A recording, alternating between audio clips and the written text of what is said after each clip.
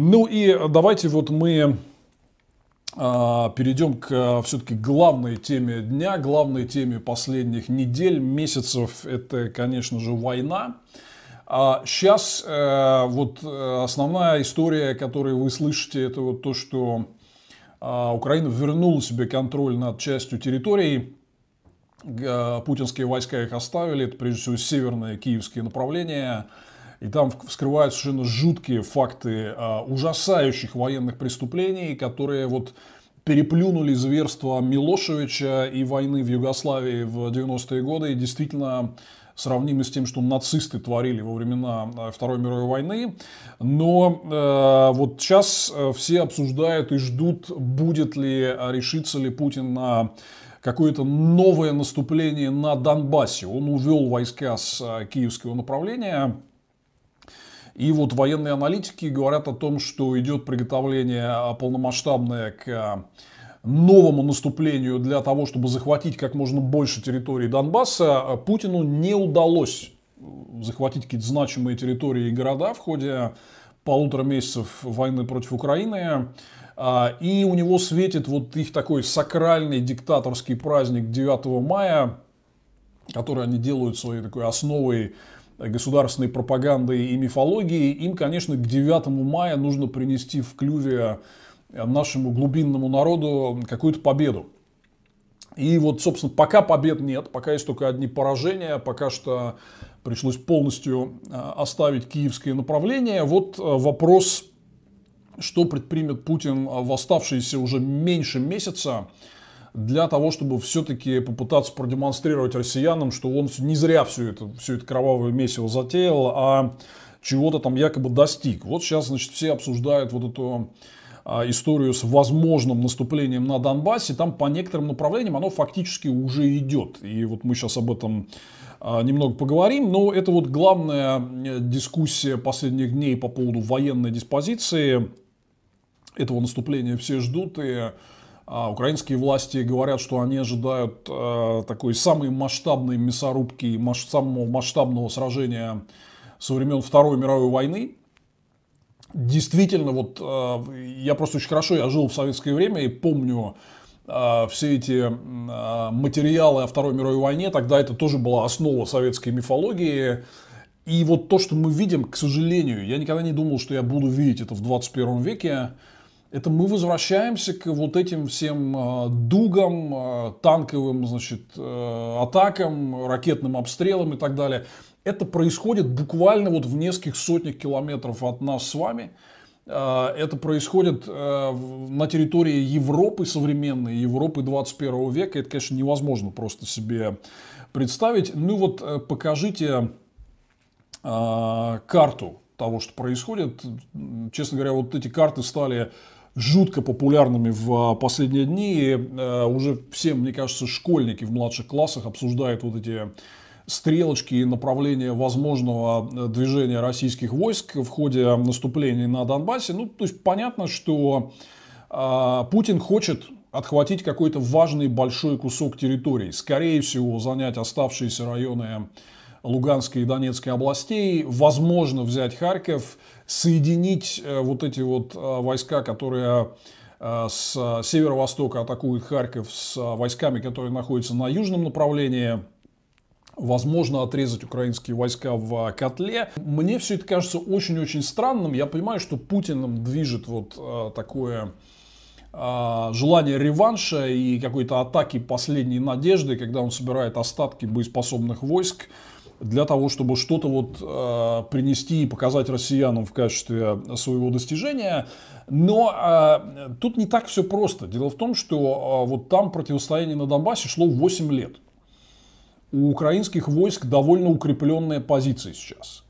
У них появилась возможность для того, чтобы дополнительно укрепиться и подготовиться к этой путинской атаке на э, Донбассе. Вот в последние недели, когда путинские войска оставляли киевские направления.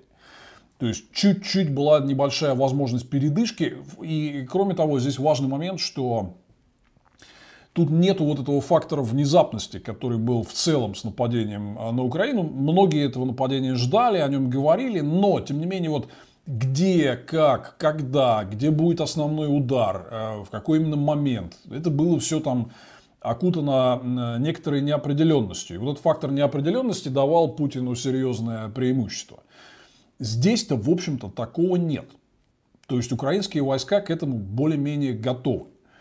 Если Путин сейчас э, действительно начнет масштабное наступление на Донбассе, бы первый вопрос, который возникает, это ну, он встретит действительно очень подготовленное, довольно ожесточенное сопротивление.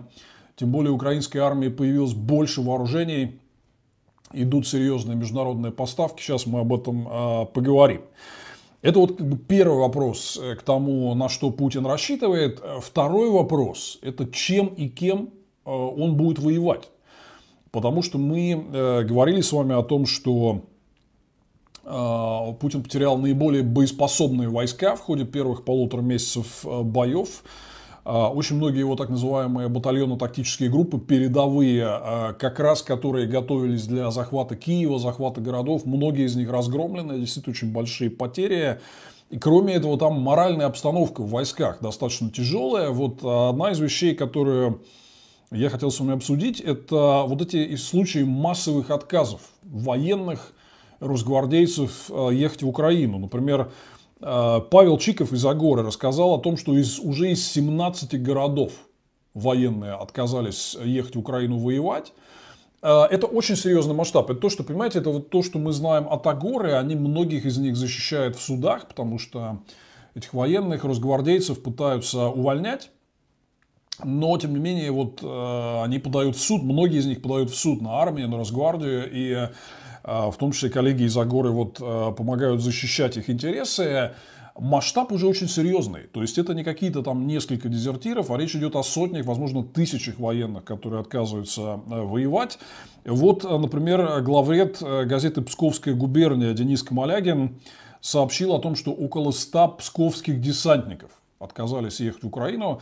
А я напомню, что псковские десантники, вот эта 76-я дивизия, это элитное подразделение, которое традиционно оно участвовало в захвате Крыма, оно участвовало в операциях в Сирии, и вот это считается там одной из тех передовых подразделений, которым Путин и его военная верхушка гордятся. Но тем не менее мы видим, а, что есть реальная такая информация, что уже вот очень большое количество, там, около сотни, возможно больше псковских десантников отказываются в этой а, мясорубке путинской а, участвовать. Ну и вот, а, что касается оценки потерь путинских войск, то вот, например, CNN на днях опубликовала ссылку на европейских чиновников, которые говорят о том, что примерно треть российских сил оказались небоеспособны по итогам полутора месяцев боев. Это 29 так называемых батальонно-тактических групп из примерно 100, которые у них были. И тут примерно те оценки, которые, о которых мы здесь с вами говорили. Они сейчас занимаются там перегруппировкой этих войск, пытаются создать новые батальонно-тактические группы из э, числа военных, которые выжили в разгромленных прежних группах. Пытаются, вот мы говорили, что они пытаются набирать активно дополнительно контрактников, предлагаем там больше 200 тысяч э, в месяц э, платить за участие в боях на Украине, пытаются привлечь наемников туда. То есть вот из того, что есть, попалось под руку, пытаются собрать какие-то новые войска для решающего наступления, но э, тем не менее, вот один из главных вопросов, который здесь есть по поводу вот этого наступления на Донбассе, ну, все-таки вот эти наспех собранные войска – наспех собранные, наспех перегруппированные, не очень подготовленные к вот этой битве. Ну, тот ли это материал, который сможет достичь реальных военных успехов э, в Донбассе против достаточно хорошо укрепленных позиций украинской армии, которая вот э, к этому наступлению готова? Это большой вопрос. Я думаю, что если Путин решится на серьезное наступление, а дело вот вроде как к этому идет, то мы это в ближайшее время увидим. Конечно, здесь, э, с одной стороны, на э, стороне российской армии играет тот факт, что они уже попробовали, вот в эти минувшие несколько недель, попробовали себя в боях. То есть многие из тех частей, которые в наступлении будут участвовать, они уже имеют боевой опыт и уже есть понимание о том, э, что украинская армия будет защищаться. Что это не такая вот простая история, как они, видимо, рассчитывали катком пройтись за трое суток и э, всю территорию Украины взять. Да? То есть есть как бы и с путинской стороны определенная готовность к вот этому наступлению, но тем не менее, вот честно говоря, я очень-очень сильно сомневаюсь, что мы увидим, вот нам говорят, что Путин хочет какого-то большого успеха добиться к 9 мая, я очень сильно сомневаюсь, что этот успех, вот он прям так просматривается.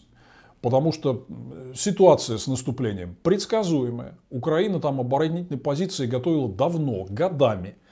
Сейчас, э, после отвода войск с киевского направления, была такая условная передышка, когда можно было Э, перегруппировать силы и дополнительно подготовиться к э, путинскому наступлению на Донбассе. А у Путина войска потрепанные, наспех собранные, не очень обученные. Вот, честно говоря, большой вопрос, как все это там будет воевать. Э, к сожалению, прогноз здесь неутешительный. Что поскольку Путин находится в отчаянии, мы сегодня видели всякие его идиотские комментарии вот по итогам встречи с Лукашенко. Кстати, вот кто меня спрашивает – я это комментировать не буду. Потому что я считаю неправильным, вы и так можете этого упыря увидеть э, много где. И я считаю абсолютно неправильным здесь вот еще как-то усиливать э, все это, все, то, все то ядовитое, что он изрыгает. Поэтому мы Путина здесь э, цитировать не будем. Но мы понимаем одно, что он страшно уязвлен своими поражениями вот первых полутора месяцев войны, что он жаждет реванша – что он не готов вообще слушать никакие разумные голоса и э, намерен дальше бросать э, свои воинские части вот в эту мясорубку и это пекло битвы для того, чтобы хоть что-то себе там выгрести, да. Скорее всего, от злобы он будет давать приказы, к сожалению, еще активнее обстреливать мирные кварталы, обстреливать гражданское население. Вот мы вчера слышали информацию о возможном применении то ли российской армией, то ли вот этими боевиками ДНР, что, в принципе, одно и то же химического оружия в Мариуполе. Вот меня многие об этом спрашивают. Это надо проверять. То есть, э, пока что есть такая информация, это действительно возможно, но надо проверять все это дело. Ну, короче говоря, Путин уязвлен и действительно будет э, атаковать. Но э, история состоит в том, что вот я вам перечислил факторы, которые говорят, что все для него не будет так просто что Украина к этой атаке на Донбасс готова, э, что ее позиции значительно сильнее, чем даже были в начале войны, а путинские войска потрепаны. А, поэтому, к сожалению, вот что можно ожидать от этого наступления? Что это, скорее всего, будет просто адская, бессмысленная мясорубка.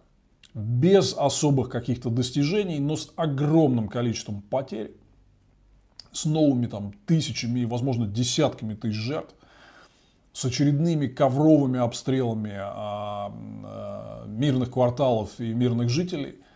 В общем, а, честно говоря, вот, вот это вот путинское уязвленное самолюбие, я думаю, что в ближайшие дни и недели, к сожалению, породит, возможно, даже еще больше чудовищ, чем мы видели за эти первые несколько недель войны. Я в этой связи хочу сказать, что вот я постоянно обращаюсь к российским военнослужащим и вижу, что многие уже вот занимают правильную позицию. Они либо сдаются в плен, либо просто отказываются в этих боевых действиях участвовать. И, кстати, огромное спасибо всем юристам, которые их защищают, потому что за отказом следуют репрессии, их увольняют и пытаются там даже кого-то преследовать. Огромное спасибо всем юристам, которые военнослужащих поддерживают. Но смотрите, дело даже не в этом.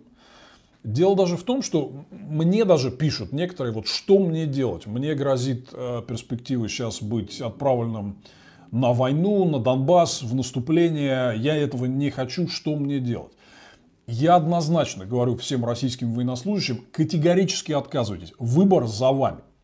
Как вы видите, по как минимум сотням, а возможно тысячам военных, которые отказываются в Украине воевать, что власти с ними смогут сделать? Ничего силой вас никто туда не повезет. Вас могут уволить со службы, вас могут начать как-то преследовать. Но, друзья мои, согласитесь, что это относительно небольшие проблемы по сравнению с перспективой быть убитым, раненым и тем более вообще вовлеченным в преступную войну на территории мирного соседнего государства. Никогда не забывайте о том, что соглашаясь ехать воевать в Украину, вы совершаете преступление – предусмотренные в том числе статьей 353 а, Российского уголовного кодекса введение агрессивной войны до 20 лет тюрьмы светит каждому, кто соглашается ехать воевать в Украину. Ну и кроме всего прочего, безусловно, все эти вещи будут расследоваться на международном уровне. Как мы видим и по преступлениям в Буче, Бородянке и других украинских городах, в целом современные технологии не позволяют сохранить анонимность на войне, как это было там 80 лет назад. Все, вас всех посчитают, вас всех опознают все, кто поедет участвовать в этой агрессивной войне против Украины, все будут наказаны.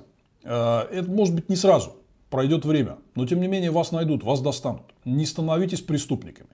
Проблемы, которые у вас будут в связи с отказом ехать в Украину, они, как мы видим, несоизмеримо меньше, чем риск быть убитым, покалеченным или, что даже еще хуже, это стать преступником реально стать убийцей, который несет смерть, кровь, горе, разрушение жителям мирной а, соседней страны. Поэтому я еще раз хочу сказать всем военнослужащим, категорически отказывайтесь туда ехать.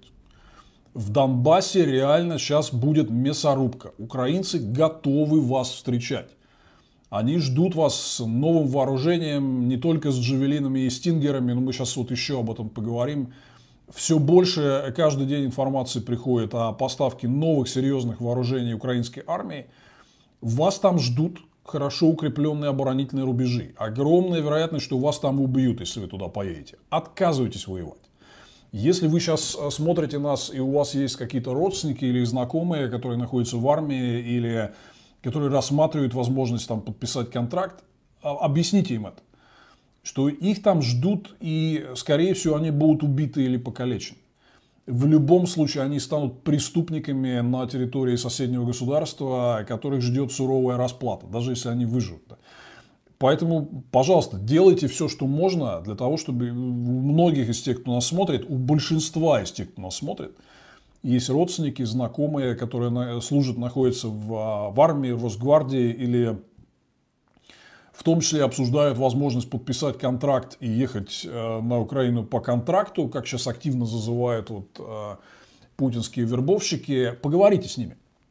Объясните им, что будет просто жуткая мясорубка без каких-то конкретных целей. Что, я думаю, что вы прекрасно понимаете, что никто там, не надо защищать нас там ни от каких ракет НАТО, все это выдумано там и так далее. Говорите с говорите со своими родственниками и знакомыми и а, убеждайте их сложить оружие, не ехать в Украину.